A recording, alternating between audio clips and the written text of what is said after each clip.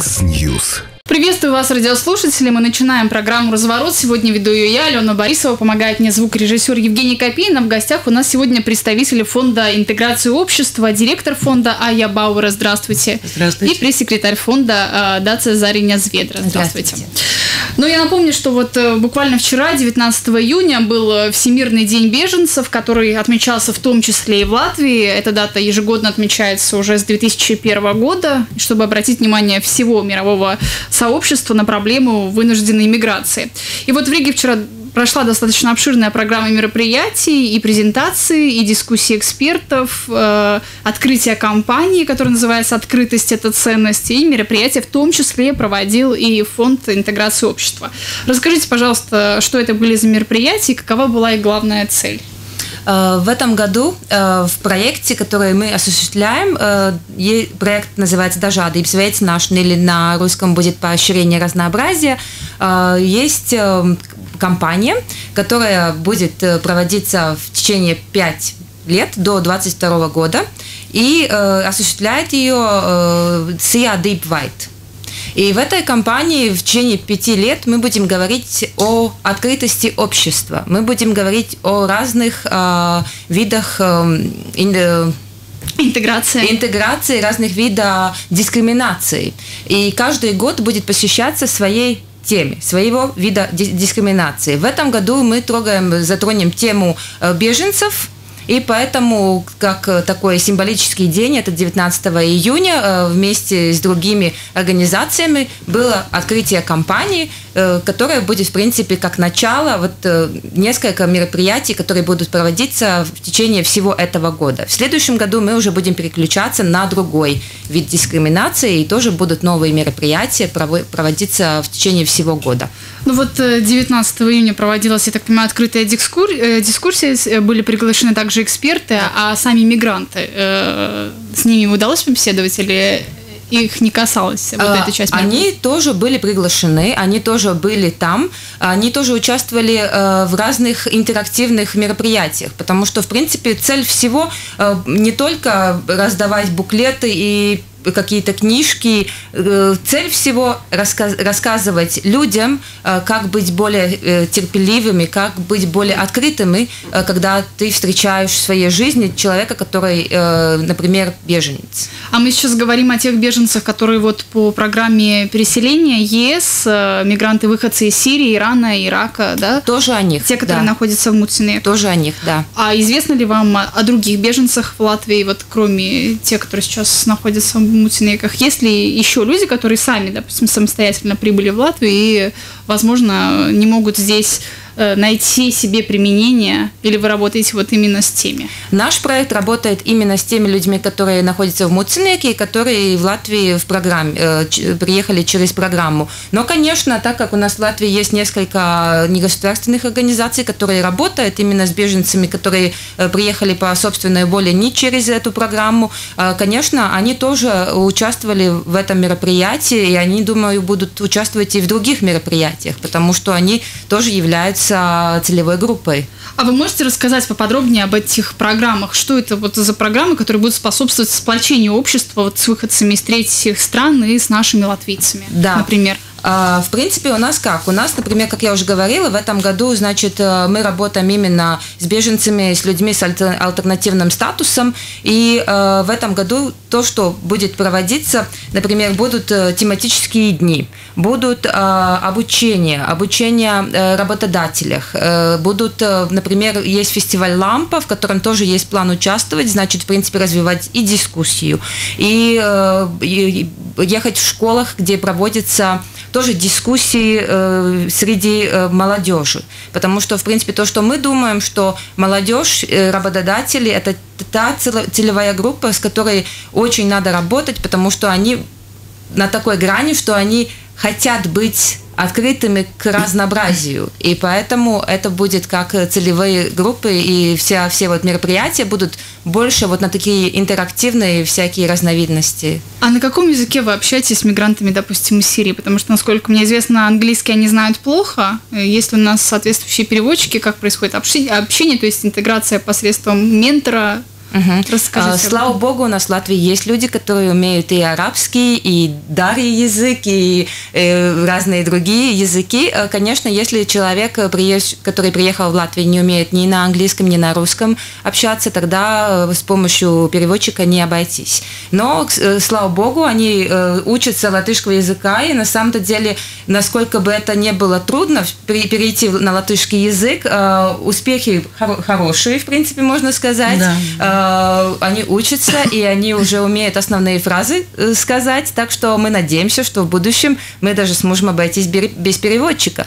Но это за какой промежуток времени? Допустим, вот э, депутат и глава парламентской комиссии по внутренним делам а, Айнар Латковский сам э, говорит о том, что э, трудоустроиться беженцам в Латвии будет тяжело, а вот на изучение латышского языка уходят годы. Поэтому, и в том числе и поэтому, помимо нашего благосостояния страны, беженцы и уезжают, не задерживаются. За какой вот... Я могу ответить чисто с, практической стороны. А, легче всего адаптируются дети, конечно потому что э, наш фонд интеграции общества, он проводит пилот-проект тоже, то есть отдельным семьям помогаем э, покрыть э, платеж за жилье, и детям в школе тогда я более близко вижу, что делает, как, как, как эти семьи развиваются, как работает, как дети учатся. А в школе примерно за один учебный год э, ребенок освоил латышский язык так, что он уже не теряется на улице, он может разговаривать с своими друзьями, он может э, решить задачи и спокойно учиться дальше на латышском языке. То есть научился читать, писать и понимать, да, основные навыки? Э, писать это немножко сложнее, потому что, скажем, с арабского... Ну, связи переходить, да, переходить на латиницу. с арабского угу. на, латыш, на латынь, да. латинские буквы и Э, имейте в виду, что они пишут с левой стороны на правую. Так что это очень сложная процедура. Но говорить, э, самое главное, что э, говорить человек может научиться и ребенок, и взрослый в коллективе. У детей, например, которые учатся в школе, есть друзья, с которыми они проводят свободное время тоже. Есть рабочие коллективы, где работают на латы... где говорят на латышском языке, на русском языке. И как там, скажем, если на латышском языке, то человек уже через год э, понимает и может сам сказать, э, что именно он хочет э, ну, что он ну, хочет если, сообщить, Здесь мне понятно, действительно, они приспосабливаются лучше, но все-таки дети здесь без родителей существовать сами не могут. Поэтому Конечно. вы занимаетесь вопросом интеграции именно родителей, помогаете ли вы им с работы, следите ли вы за тем, как у них дела идут? Да, конечно, это прямая обязанность ментора, то есть человек, который социального работника ментора, человек, который в прямом смысле ответственный за интеграцию этого человека в нашем обществе. И сейчас ну, более 20 человек уже э, работает в разных э, предприятиях, примерно 20 если я правильно... 20 человек из тех, кто вот прибыл по программе распределения? Да, yes. из, э, из тех людей, которые получили статус здесь в Латвии, и это родители, конечно. В, основ, в основном начинает работать глава семьи вначале, а потом уже и остальные члены семьи. Вот. А где работают эти 20 беженцев у нас в Латвии? А, разные предприятия. Вчера как раз были сюжеты, можно посмотреть, наверное, в интернете потом. Есть фанерный завод, где очень успешно работает. То есть это какие-то фабрики, где да. не надо коммуницировать с другими людьми? Все равно надо, потому что в кондитерское, кондитерское производство обязательно надо согласовать рецепт, там, работу, последовательность с работодателем. Но как я смотрела, как они работают, если это профессионалы, они очень быстро находят общий язык и быстро учатся понять друг друга, даже если не хватает знаний латышского языка. А если говорить о числе тех людей, которые у нас остались, наверное, надо вспомнить цифры. 317 человек прибыли в Латвию по программе перемещения ЕС. Но вот по последним данным, э, всем им полагались услуги менторов. Как раз ваш фонд интеграции должен был этим заниматься. Э, но сколько сейчас человек э, сотрудничает ну, с ментором? Выходит с ним на связь? Сейчас у нас есть имя, если вы имеете этот год, 18 год, то у нас 80 человек, которым, которые э, имеют право м, получать услуги ментора и социального работника. А, ну, право, да. Кто действительно пользуется этим? Они действительно Все пользуются. 80. Это значит, что 80 человек у нас в Латвии остались. Не уехали в- Не, в Скандинавию. А как? Это не такая цифра. А, из перемещенных у нас осталось так, а, если я правильно, 6 человек и 4. Ну вот Неткорига писала, что Есть. остались буквально только 7 человек по программе перемещения в Латвии. Нет, не это- совсем не нет, так, совсем. немножко больше 10, но все равно это очень маленькая цифра. 10 человек осталось. Больше, больше. И э, еще есть 49 ищущих убежища, которые также содержатся в Муцинеках в настоящее время. Да, да, А, около 50, да. всего. Ну, то есть буквально вы осуществляете контроль вот за этими, там, грубо говоря, там 60 людьми. 80. 80, да, в общем. За Муценек еще 30 человек. Мгм.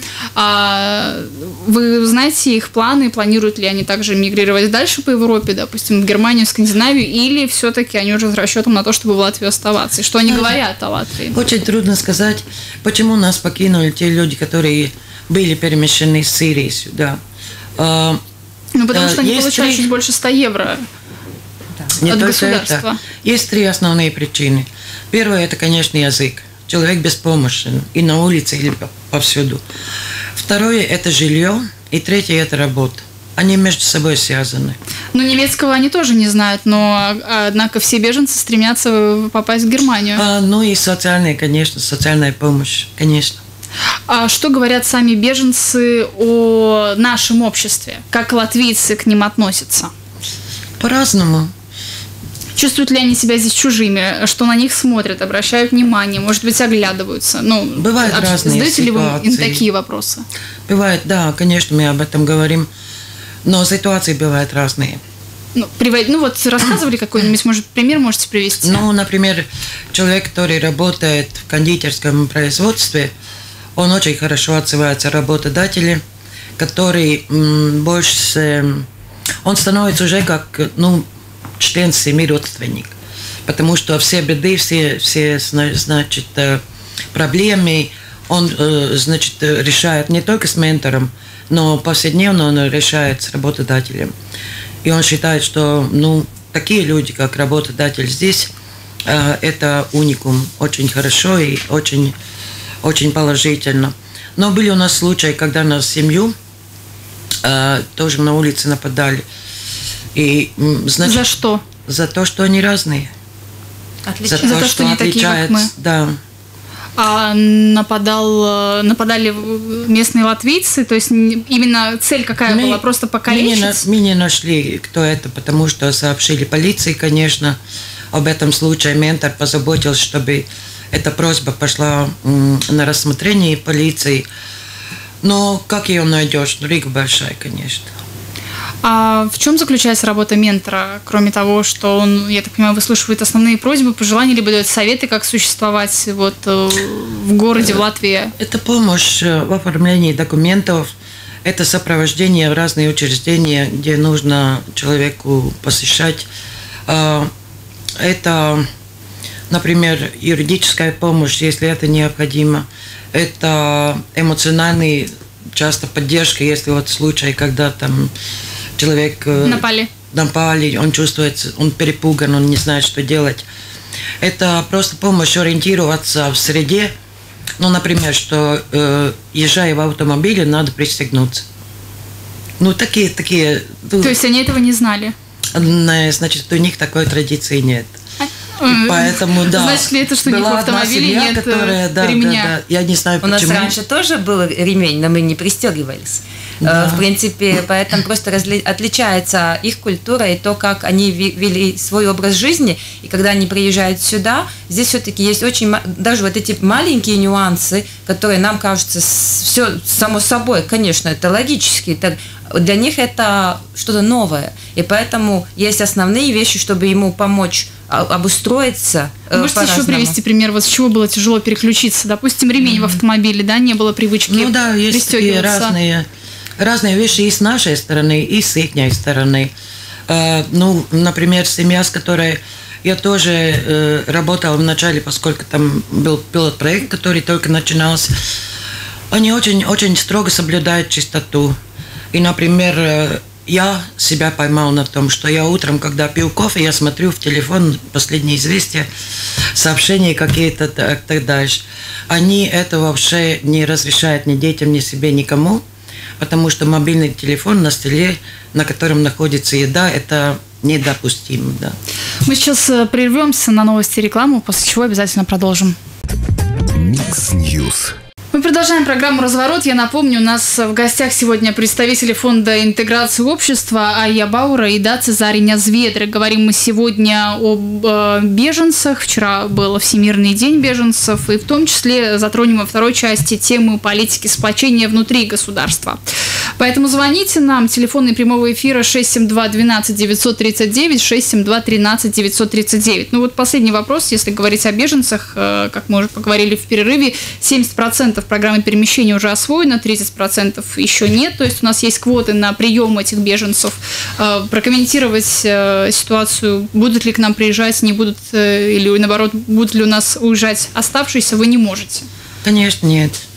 А все-таки главный вопрос по интеграции у беженцев в наше общество – это язык, как вы считаете? Это один из э, очень важных моментов. Язык, социальные услуги, э, Э, жилье. Это все как, в принципе, комплексное такое, такой, э, такой комплект, без которого, в принципе, очень трудно, конечно, начать самостоятельную жизнь. Ну вот мы уже затронули о том, как и как беженцам приходится жить и уживаться с нашим обществом. И э, действительно, вот если не брать во внимание те учреждения, в том числе и ваши, которые занимаются интеграцией беженцев, то вот само общество готово видеть рядом с собой соседей, коллег, э, сотрудников, выходцев из Сирии, Ирака Ирана. Как вы считаете?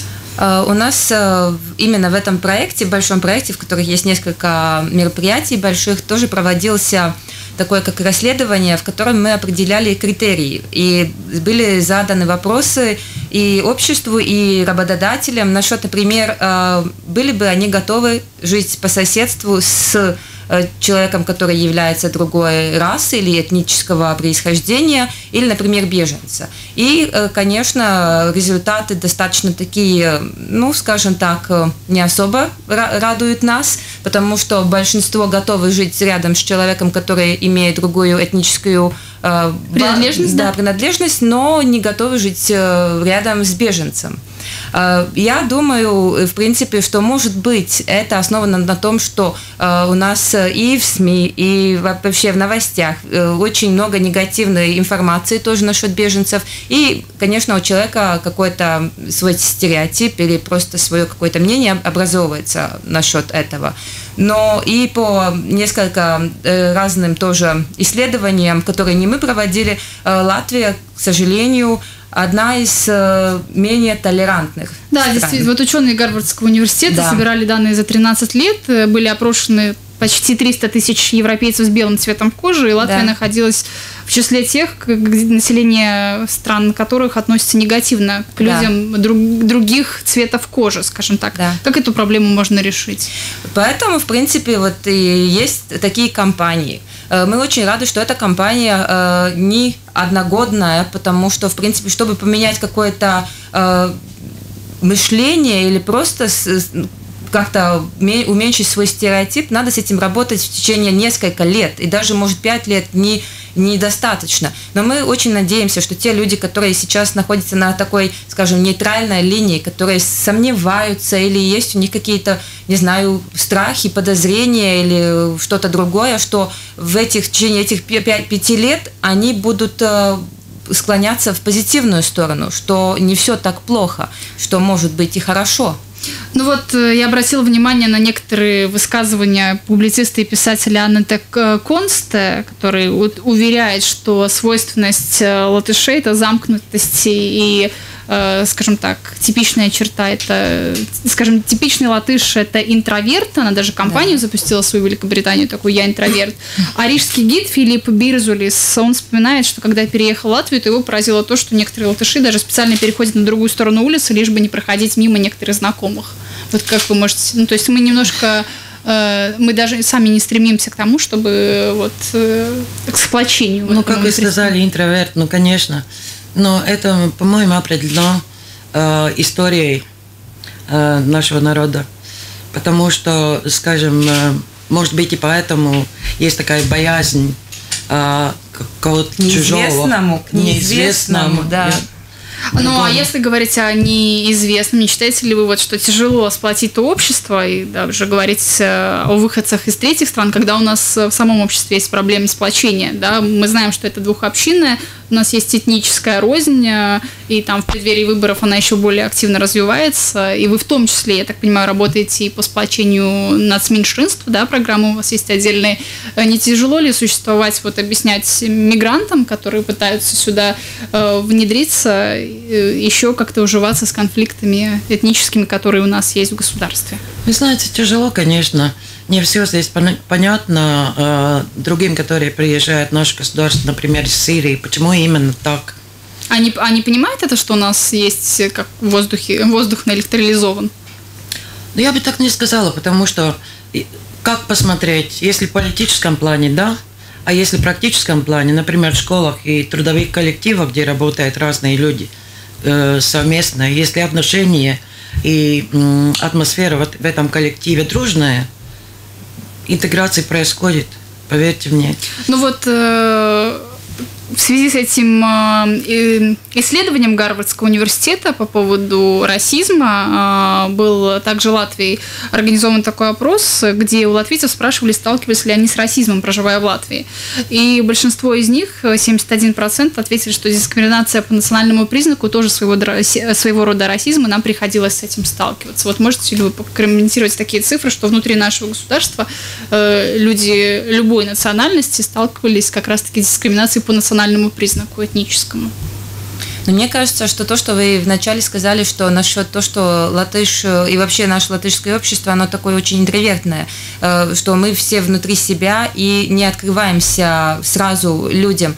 Это то, какие мы есть. И насчет того, что вы спросили, а, ну, если, ну, не знаю, стоит ли работать с этим или как работать и так далее, будет ли легко, то, что уже директор сказала, что будет очень труд- трудно, очень трудно. И этого, может, не хватит и компания на 5 лет, на 10 лет, но если мы не будем пытаться работать, и у нас есть очень хорошие целевые группы, у нас растет очень хорошая открытая молодежь, которая уже побывала в разных странах, ездит, они видят разные культуры, они видят, видят что и Великобри- Великобритания, например, там тоже э, столько вся, всяких э, людей с, с разными этническими корнями, да, и они это воспринимают совершенно по-другому. Ну вот вы сейчас сказали, что у вас запускается кампания в течение этого года, которая будет называться «Поощрение разнообразия». Да. А Вы не считаете, что вот политика государства как раз сейчас, э, наоборот, этому э, исходит от обратного? То есть, да, вы говорите о разнообразии, а сейчас как раз э,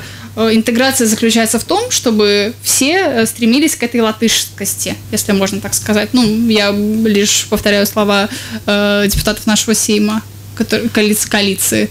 Ну, я бы хотела сказать, что э, э, даже немножко о своем собственном мнении, что человек, например, который э, не латыш, но он живет в Латвии, он все равно со временем становится более латышским, но, то, но он не должен терять свою, ну, свою какую-то вот культуру и, и так далее. Просто он приспосабливается к стране, в которой он живет. Он ее уважает, он живет по ее законам. Это не значит, что надо забывать э, свою культуру, свою э, как- какие-то, может, директор может меня как дополнить что-нибудь, но мне кажется, что э, это не значит, что все мы будем э, од- одинаковые. Мы не одинаковые, мы никогда не будем одинаковые. Если говорить о финансировании фонда интеграции, то вы живете за счет фондов ЕС и за счет госбюджета, да? Да, конечно. А, И вот э, в рамках э, политики, э, реализации политики национальной идентичности, гражданского общества интеграции, вот на будущие два года вам было выделено э, 14, э, более 14 миллионов на 2019 год и э, 7 миллионов на 2020 год, если я все правильно понимаю.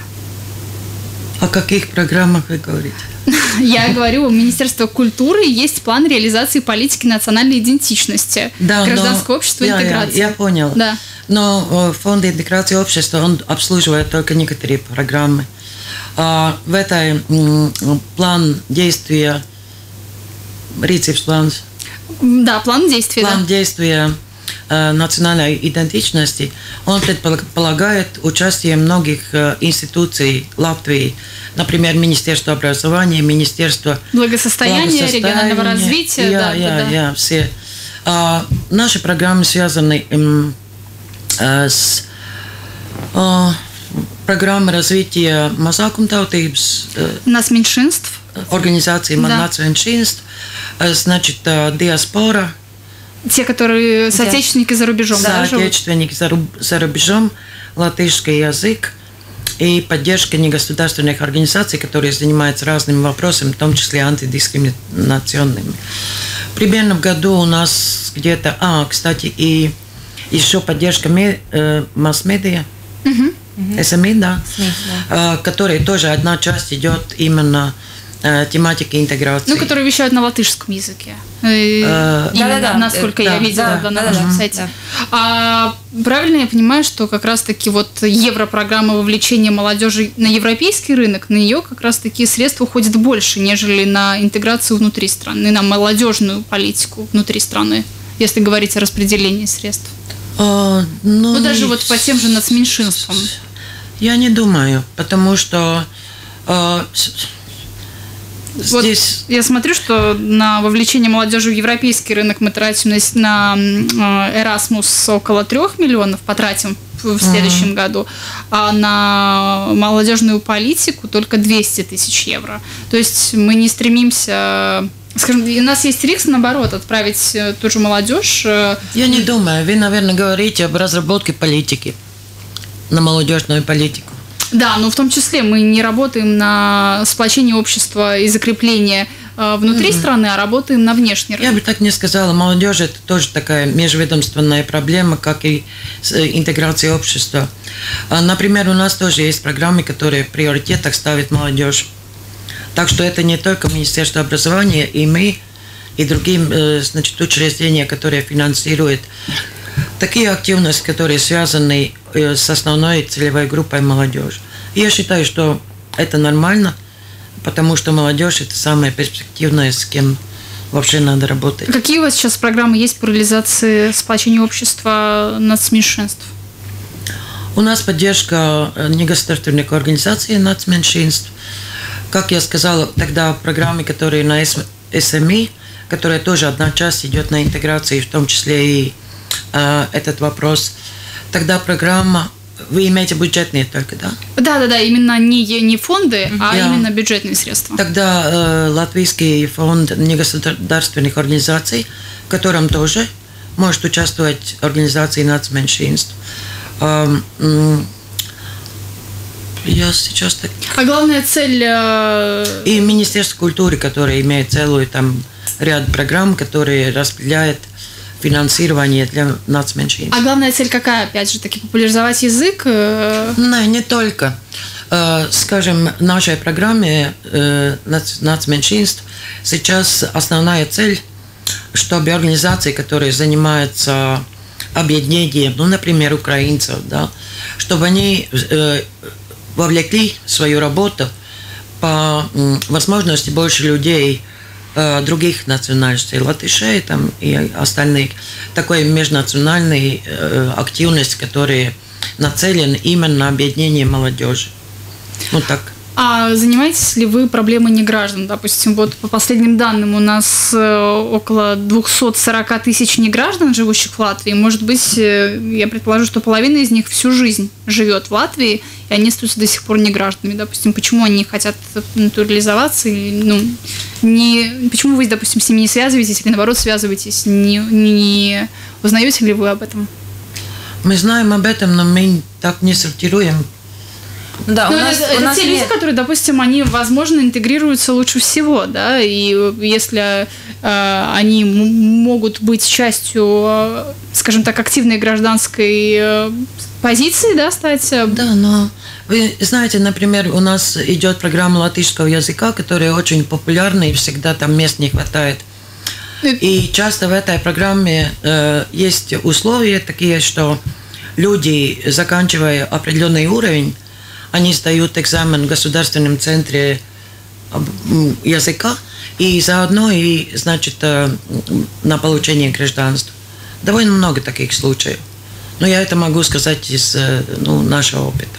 Ну, а не гражданами вы, допустим, не занимаетесь, да, детально Специально не рассматриваете. Нет. Но э, даже если вы заговорили о языковых курсах, то у нас на национальном уровне только как раз два учреждения предлагают бесплатные языковые курсы. Это вы и Государственное агентство занятости. И то за последние годы, вот по сравнению с тем, что было 7 лет назад, э, предложения сократились. Да, то есть сейчас это на плечи самоуправления перешло во многих городах. Почему так? Это, я думаю, это... У людей реальная проблема записаться на эти курсы. Да, но мы, значит, в приоритетах следующего года предлагаем э, увеличить эту сумму, потому что мы видим, что мест не хватает или есть большая заинтересованность. Но это зависит опять от э, и кабинета министров, и Сайма, как они решат. Но а мы вы считаем, не, ну, не инициируете? То есть... Конечно, мы говорим с депутатами и рассказываем проблему. Так что если это будет посчитаться как приоритет, тогда будет больше финансирования на это. Ну, такой вот общий вопрос, но тем не менее, если уже вы фонд интеграции общества, какая у нас главная проблема в обществе, если стоит заниматься интеграцией, сплоченностью его? Можете ли вы их назвать? Ну, здесь придется импровизировать. Но это ваше назначение. Я думаю, что самое главное то, что, э, э, например, нам с вами – если я с вами говорю первый раз, ну, я осторожно отношусь к вам. Если мы вместе поработали или, э, например, поплыли на лодке, я бы вас узнала больше, и у меня проблем не было с этим. Значит, надо работать с людьми, надо с ними общаться, надо делать многие вещи вместе, и не надо бояться. Ну, если нам нужен такой фонд, значит ли это, что мы этого не делаем, или делаем меньше, хуже, и всех надо мы посадить на плод? Мы можем стимулировать в одну или в другую сторону, да. Ну, например, сейчас мы, как я сказала, приоритет молодежь. Ну, значит, мы можем больше стимулировать эти общие Но мне кажется, как раз у молодежи нет никаких проблем, да, они абсолютно билингвальны, если мы говорим о языке, то есть и очень удобно и комфортно себя чувствуют. Да, но это можно усилить, уменьшить, как, как посчитаем. Но молодежь это, я, я считаю, одна из приоритетов, конечно. А, фонд э, интеграции общества занимается не только вопросами э, национальных признаков, да, но я так понимаю еще и, и интеграции людей, допустим, с какими-нибудь физическими отклонениями, в частности, с инвалидами, интегрировать их на общий рынок да, труда в Латвию. Э, занимаетесь ли вы этими проблемами? О том, допустим, что у нас там 150 тысяч инвалидов в Латвии зарегистрировано, из них только единицы могут найти себе работу. Хотя э, сейчас остро стоит проблема квалифицированной рабочей силы. Да, даже думают приглашать э, э, граждан других стран. Да, но вы, наверное, говорите о прошлом периоде, потому что был инструмент Европейской экономической зоны, где почти половина всех средств ушло на социальные проблемы, решение социальных проблем, в том числе и инвалидов, о которых вы говорите. Но вы не занимаетесь этим Сейчас вопросом? нет, э, потому что это приоритет Министерства благосостояния, конечно. А ваш фонд, э, кто-нибудь обращается? Ну, то есть э, напрямую? Есть люди, которые либо приехали, либо испытывают подобные вопросы или проблемы, как инвалиды? Могут ли они получить помощь? Сейчас, ну, вот напрямую с людьми вы контактируете? Э, наш фонд, э, да, конечно, мы получаем разные звонки, но мы э, не предоставляем услуги. Мы можем, конечно, им, ну, мы не предоставляем услуги. Можем например, направить человека. Мы можем направить человека. Есть у нас очень хорошие негосударственные организации, которые, у которых очень большой э, опыт, не, то, не только опыт, но и э, разные мероприятия, которые они предоставляют этим людям. Э, фонд работает с тем, что он получает финансирование на конкретное э, осуществление конкретных программ, которые выдает, например, государство, или вот, например, какой-то, э, вот, был вот э, Европейский Союз, Europe's Economic Zones Financial Instruments, значит, э, мы э, эти деньги распределяем по негосударственным организациям для осуществления конкретных целей. А как вы определяете успех ваших проектов? То есть вы проводите э, множество проектов по интеграции в том числе. Как можно сказать, да, это был проект успешный, это неуспешный, э, люди Но- интегрированы, общество сплочено теперь. Как? Во-первых, э, когда мы распределяем деньги, мы не оставляем организации без присмотра. То есть следуем тому, как, как проекты реализуются и какой есть результат.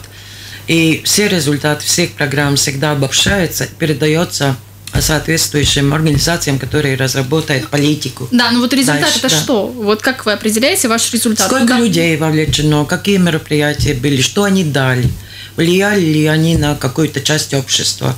Значит, какие, сколько людьми, э, люди получили помощь, например, сколько было участия в разных там, не знаю, нормативных, разработке нормативных док- документов. Они добились что-нибудь или не добились, да. Ну, такие результаты реальные. Потому что эти проекты, они сами реальные. На этом нам программу «Разворот» надо заканчивать. Я напомню, что у нас в гостях сегодня были представители Фонда интеграции общества Ия Баура и Датса Зарина Зведра. Привела программу Алена Борисова, помог мне звукорежиссер Евгений Копейн. Спасибо большое.